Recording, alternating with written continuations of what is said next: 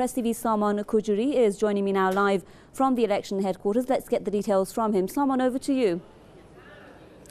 Well, Hama, indeed. Uh, well, the timing of the voting has been extended by two more hours. It means that the voting process will continue at least for uh, until 8 p.m. Tehran local time. Of course, this has been this extension has come as a result of the high turnout of people uh, at the ballot boxes and the polling stations. This is according to the statement released uh, just now by the Interior Ministry. Of course, uh, this extension might once again be renewed, and the timing of the voting will might uh, be extended once again and even uh, twice more uh, because uh, the Interior Ministry has said that until the last voter is at the polling stations and the ballot boxes, the vote should be cast and uh, the, the voters should not be prevented from casting their ballots. So we expect that uh, the timing of uh, the, the time of the voting will once again be extended in the future. But so far, according to the statement released by the Interior Ministry, the voting has been extended until 8 p.m. Tehran local time, Hama. And that's the breaking news for now.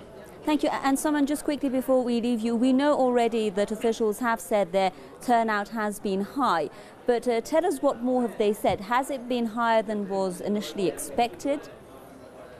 Uh, well, in terms of the expectation, this, well, the high turnout of people has so far uh, caught the attention of many uh, reporters and journalists, especially those coming from abroad and from uh, foreign uh, countries and main, main, uh, mainstream media outlets coming from different countries. And this is the, the, the eye-catching thing about the elections. In terms of the expectation, I believe that, I mean, the Interior Ministry officials have not yet given us any official figure or number uh, regarding the percentage of the participation of people. Of course, we have to wait until the end of the voting because if we want to be exact uh, uh, and to be able to make comments regarding the high turnout of people, we have to wait until the end of today, the voting, when the voting process comes to an end.